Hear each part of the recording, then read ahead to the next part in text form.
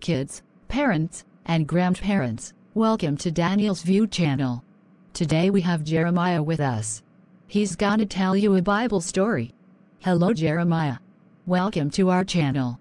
Hello Elisha, thank you invite me for sharing the word of God especially for kids. Before I start our story I request all parents to subscribe to Daniel's View channel also like and share.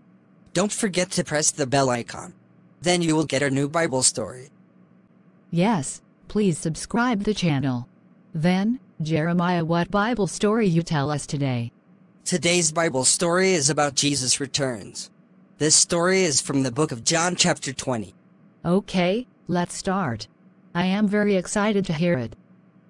The disciples had locked themselves in a small room because they were afraid the leaders would send soldiers to arrest them. Suddenly, Jesus appeared to them.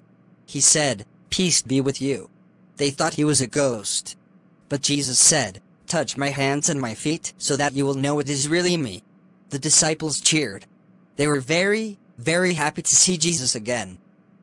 Thank you, Jeremiah. It was a very blessed story for all of us. Hope next time you will bring more Bible stories for our kids.